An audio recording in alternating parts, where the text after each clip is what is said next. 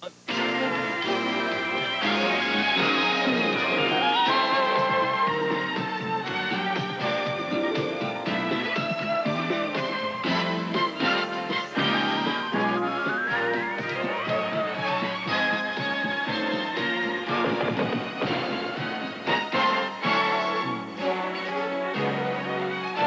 on Walt Disney, it's a spooky Halloween treat with witches, ghosts, and goblins galore.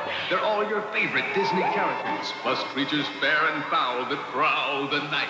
See the headless horseman chase a frightened rider on the legend of Sleepy Hollow.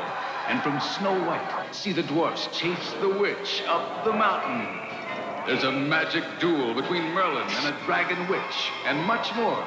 Next, join us on a Halloween treat. If you dare.